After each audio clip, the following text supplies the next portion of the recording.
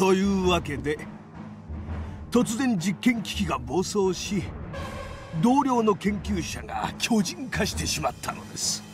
そしてエリア内は大量のワイヤーズに占拠されてしまった。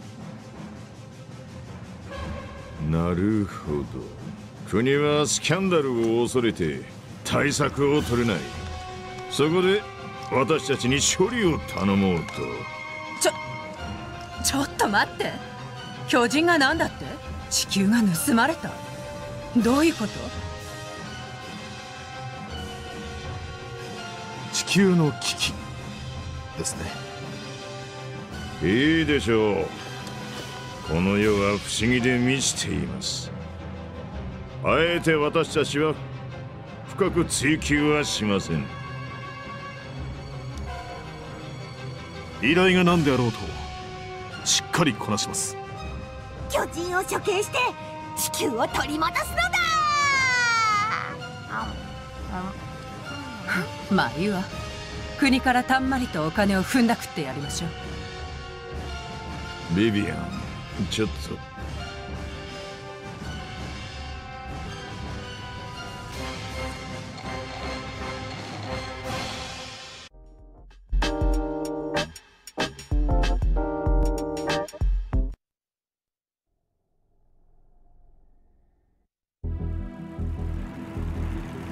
エリア151は国家機密の研究が行われている場所よ。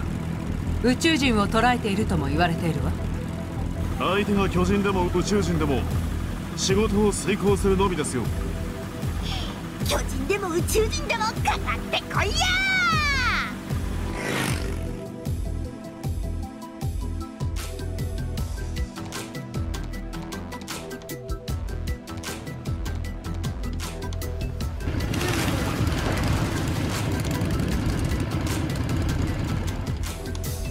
とはいうものの。巨人が見えないわね。あの大きさなら壁の向こうに見えるはずなんだ。我々に恐れをなして逃げたのだ。こ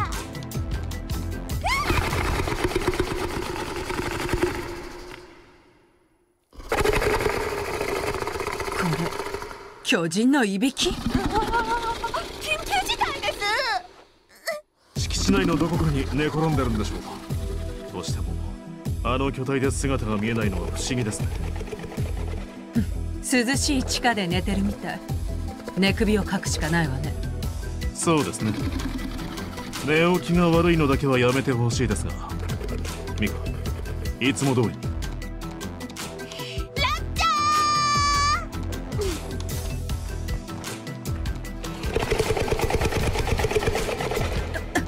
まるで怪獣映画ねイタリア製の B 級怪獣映画なら楽だったんですが。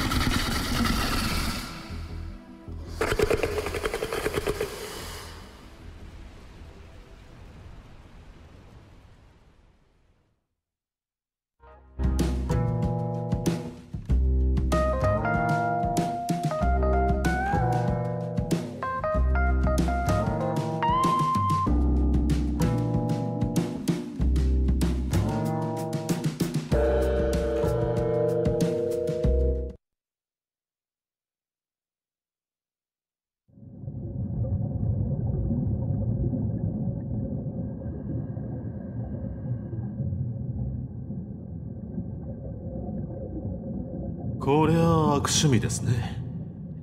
どうやらそこではワイヤーズを大量に培養していたみたいね。これで我々に依頼が来た本当の意味が分かったわ。それと巨人の姿はまだ見えない？レーダーによると多分。僕の見間違いでなければ目の前に？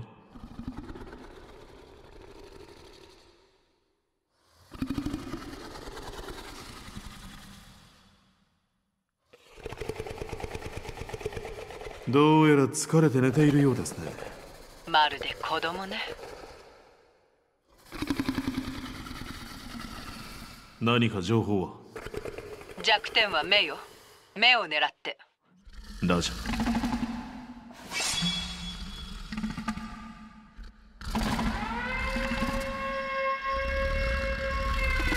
就業のサイレンよ。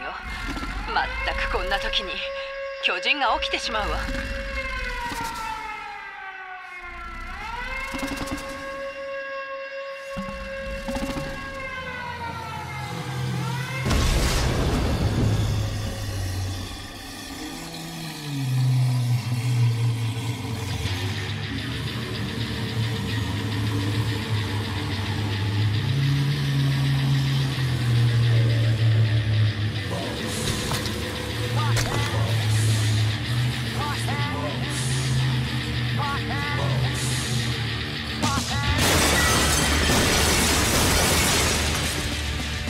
長これは残業手当ですよ。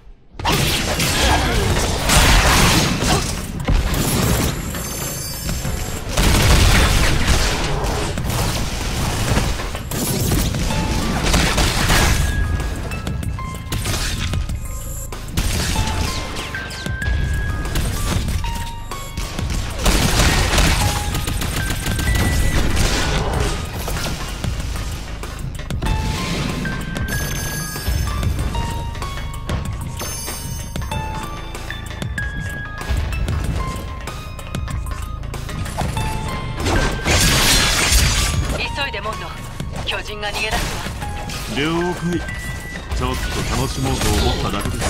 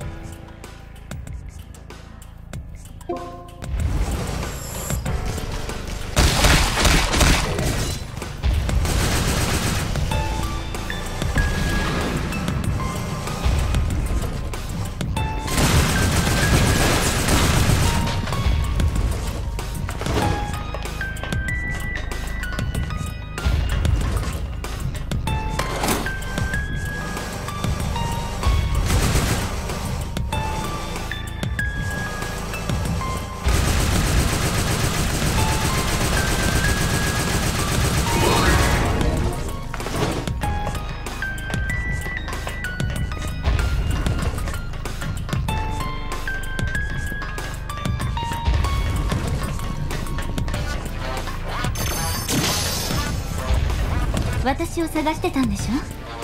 あなたが来ることは分かっていたわ。これはおまけよ。またいらっしゃい。待っているわよ。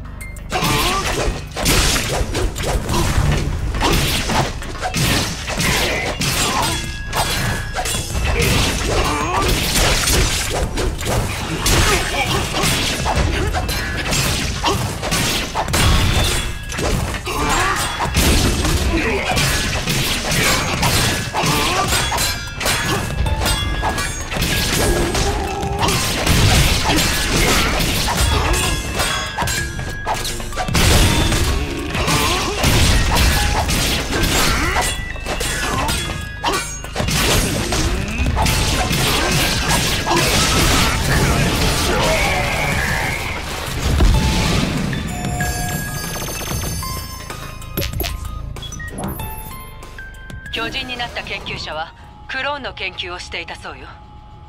クローンは国際的に製造が禁止されたはずです。国がこの事件を表沙汰にできないわけです。ますます国からお金を踏んだくれそうだわ。絞り取れるだけ取りましょう。珍しいじゃない。倫理規定に違反するものは徹底的に切るのが僕の主義です。ねえこのゲームは倫理的に大丈夫かしら？知りません。私は命じられた仕事を遂行するのみです。さすがね。ところで左腕の調子はどう？調子。特に問題はありません。そう。気をつけてね